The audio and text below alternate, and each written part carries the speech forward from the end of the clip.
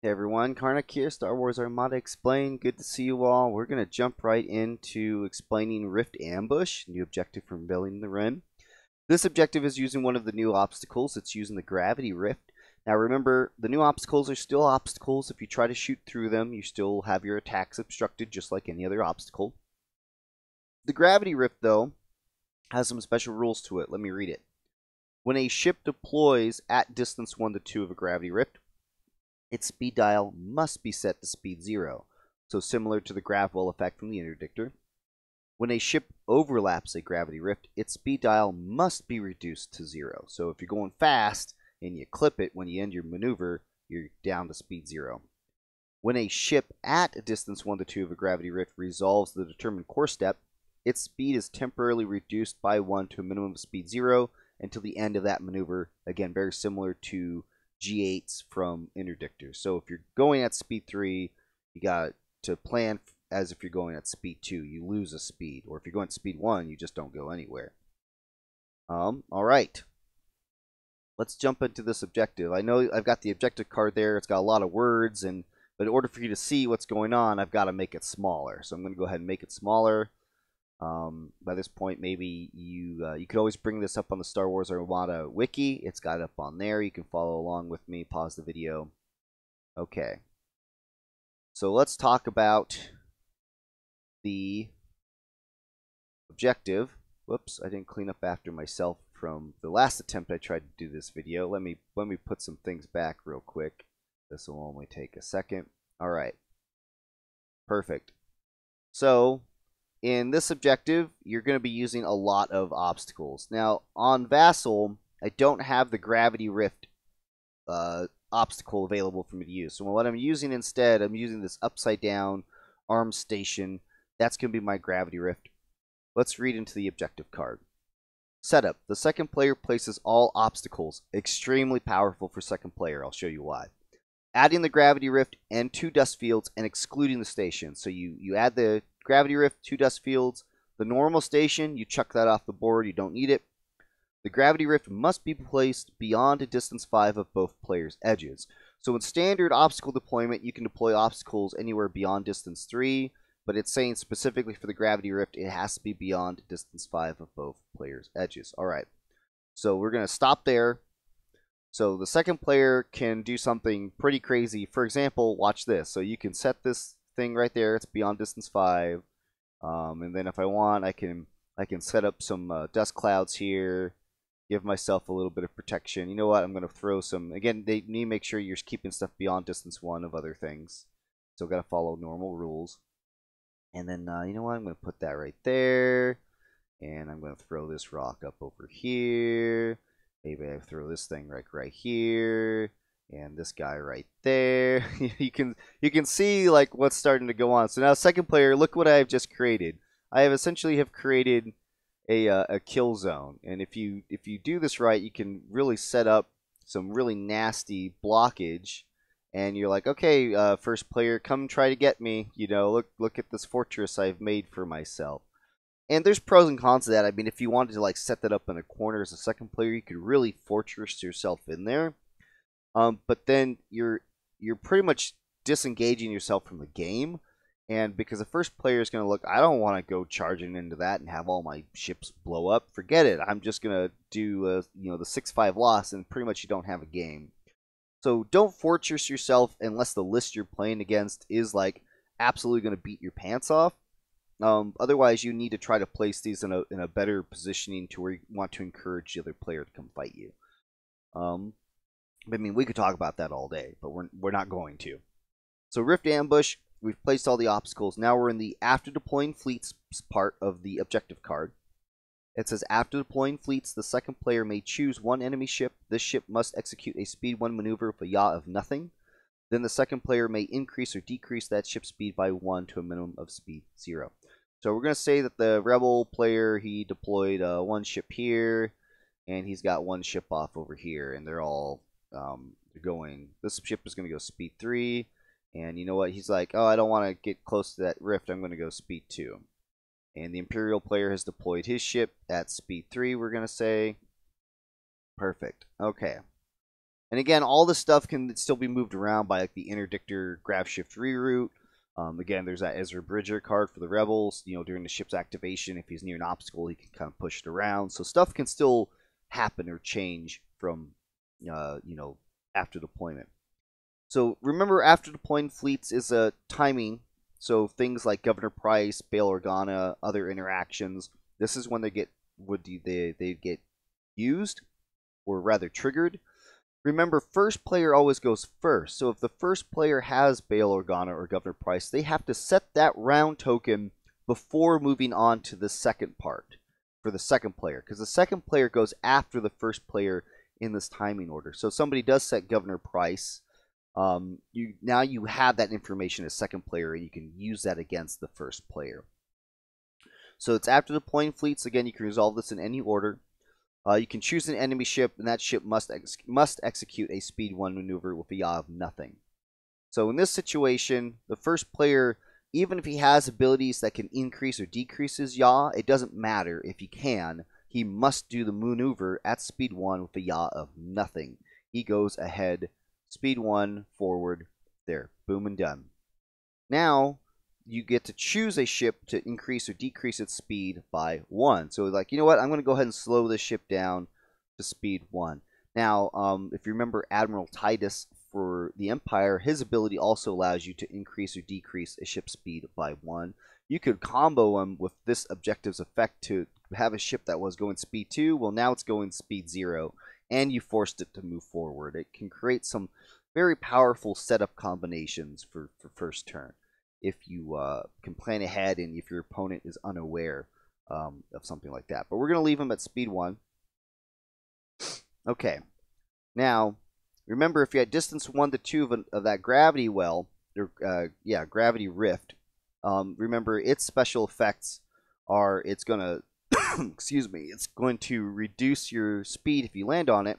It's also going to reduce your speed temporarily if you're just trying to move past it. Okay. So he's nowhere near that quite yet.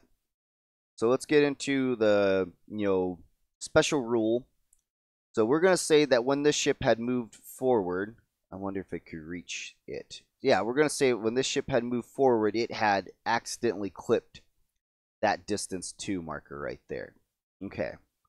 So that's the beginning of the game, and then you know he goes in his turn. He's at speed one, and oh, I totally forgot to to to reveal a, a navigate dial, or no, he did reveal a dial. He increases the speed to two, um, but again, the rift slows him by one, so he can only move forward one. He moves forward his one, and there we go.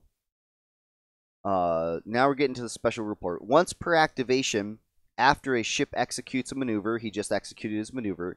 If it is at distance 1 to 2 of the gravity rift, which again, we check here to range bands, black is range 1, or distance 1, red is distance 2.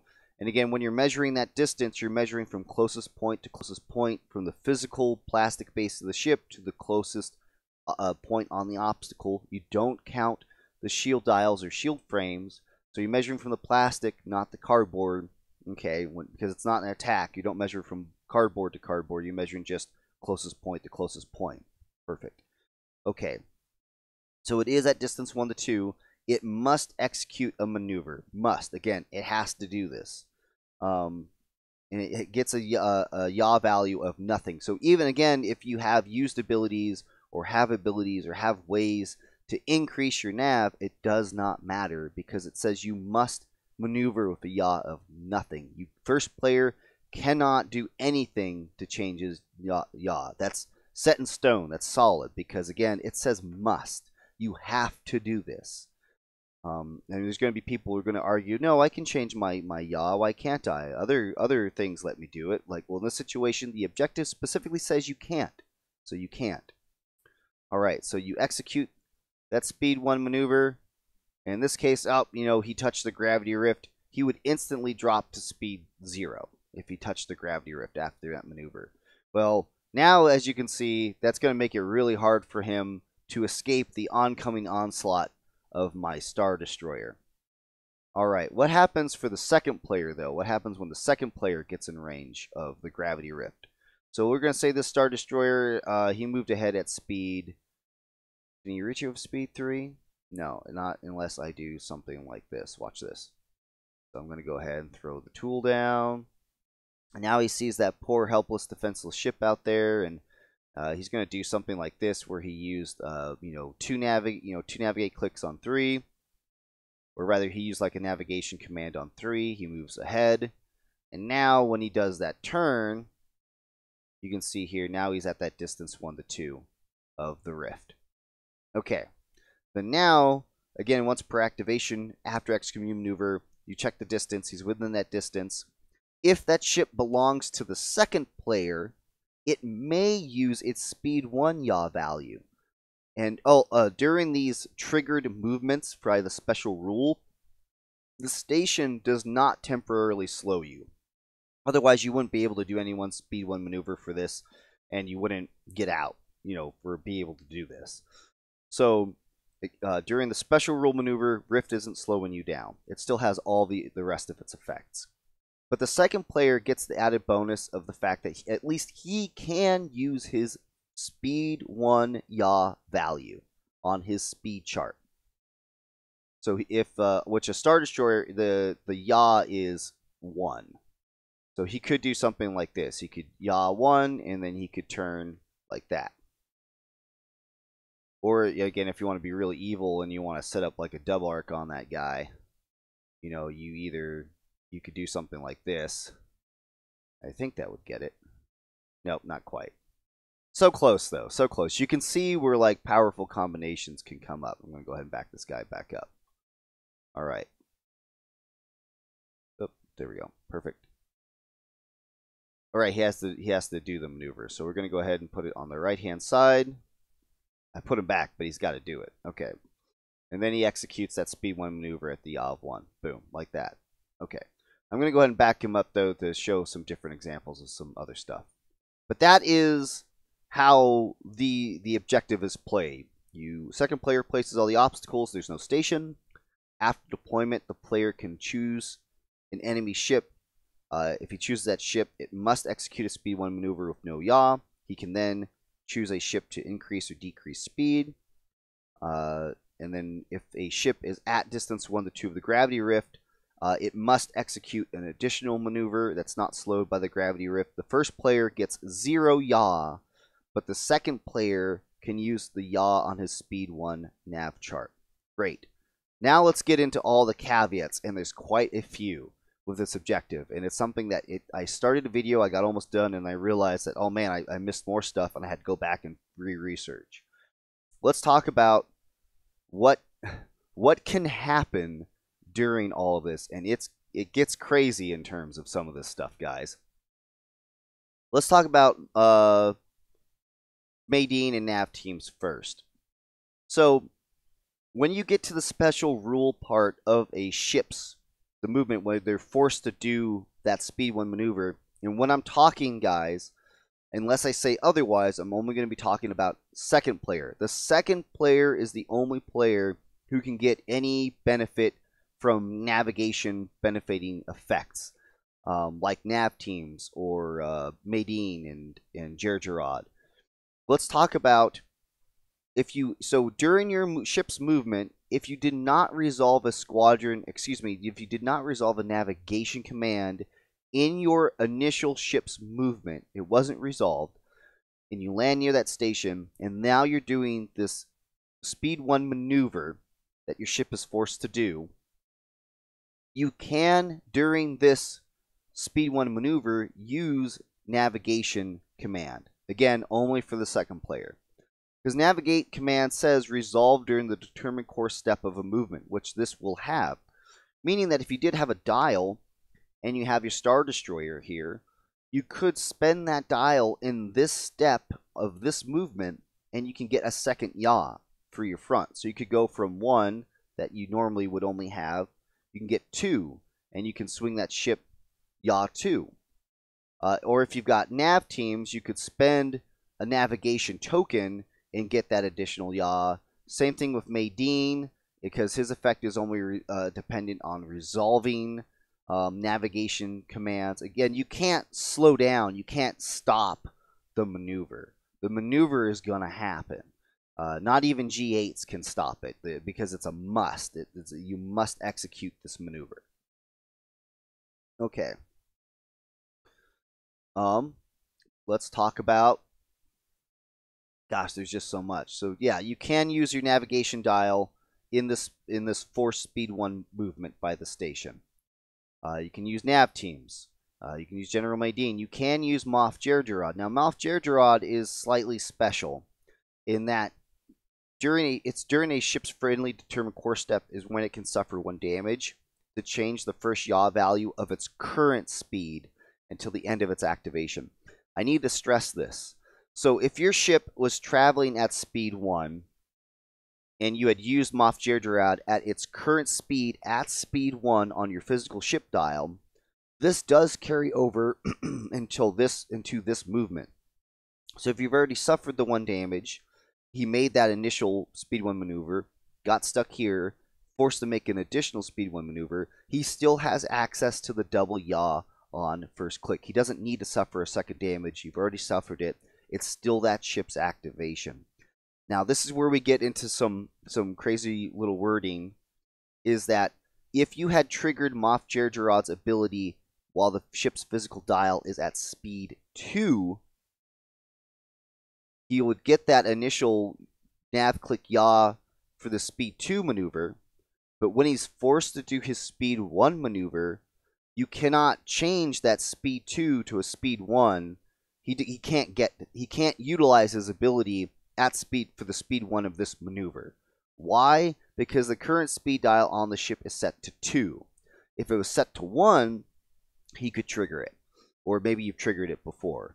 But if the physical dial is set to speed 2 or speed 3, he cannot be used to trigger again in the speed 1 maneuver execution. Not unless you have a navigation dial or entrapment formation. Um, and again, you hadn't used navigation dial before this maneuver, and you can resolve it now or use entrapment formation's ability. If you hadn't used it before, you could use it now you could drop that physical ship speed dial to 1, and then you could trigger his ability. I know it sounds complicated, but what I am saying does make sense. Uh, that is that is allowed within the rules. Um, but again, now your ship speed is set to that speed when you start your next round, though. You can't pop it back up to where it was after you did your initial movement. So again, to cover this again, as clear as I can, Moff Jerjerrod only works at the current physical ship speed dial. If it's at one, he could trigger it at one. If it's the dial is any greater than that, when it's triggered, it's not going to be, it can't be used for this speed one maneuver because it's a speed one maneuver. He needs to be triggered at the speed one of his dial. Uh, you could do something where if you know you're going to run into that obstacle though, if your ship is at speed one, trigger him at speed one on your dial, increase his speed to two or three, wherever the speed is that you want to move him to, trigger him again there, so you're going to take two damage. But then when you move and then you're forced to execute, you already had taken that damage before at the speed one, it still carries over. Uh, so hopefully this is all making sense. If it's still confusing, please leave a comment. I can I can write it out. I'm hopefully this this is uh, got you guys covered. I go over all this in his Moff Jerjerrod card too. Alright, now we're getting into something even crazier, guys. Engine techs. So we've already been talking about how you can resolve navigation commands during, you know, this maneuver if the navigation command, again, has not been resolved before. So during the determined course step, you can use a navigation command. So again, in this instance, not that Star Destroyers get engine techs, thank goodness, but we're just going to say that somehow it has it equipped. So it does its speed 2. In this situation, we're going to say the Star Destroyer did a speed 3 movement. Uh, whoops. Uh, or you know what? We're going to use this assault potato for this. So we're going to say that uh, when this ship was stuck here, it uh, ended its movement something like that. So it, it now uh, it did its physical ship movement. It ended here. Now it must execute that speed 1 maneuver. So it executes that speed 1 maneuver like it's supposed to. Let me make sure, yeah, that's going to get it out of the rift. Okay, so we back it up. So So it, it must execute that speed 1 maneuver. And again, as mentioned before, even for first player, even if first player can't get any yaw benefit, if he you know he can still spend a navigation dial or token or dial and token together during this part if he wants to. If he does, he can trigger engine techs because he's resolving a navigation command. So even though, again, during the force movement from the gravity rift, the special rule, if you can still resolve the navigation command. So when he escapes that rift, like so, he moves ahead zero. If he had exhausted, if he had uh, utilized that navigation command, he may now exhaust engine techs, and he can engine tech as normal. Again, the assault frigates can't engine tech. I'm just using it for this example. Then he can use engine techs and, and pop out of there like so. Does that make sense? Am I explaining this right? It's just, it's so much. It's so much small interaction. So again, you do the force movement. It forces him out of that slow zone. If you'd resolve the navigation command, um, either during his initial ship movement, yeah, either during his initial ship movement uh, as long as the navigation command was resolved either after the initial movement or during this part here, you could just spend the navigation command just to trigger it. You can now use engine techs to squeeze even further past this objective. Okay. That's a lot of talking. Hopefully you guys are understanding it. Hopefully I'm explaining it clearly enough. It's just a lot of just intricate little rule interactions going on in there. Okay. Um, I don't think there's anything else. So hopefully you guys have got this. If not, again, please let me know in the comments if you think I got anything wrong, if I'm not explaining it clearly enough, if you still have any additional questions. Um, with all these objectives, I know it's a lot, but as you play and you understand, uh, it becomes second nature. So I do appreciate you guys watching the video, and uh, like always, I'll catch you guys next time.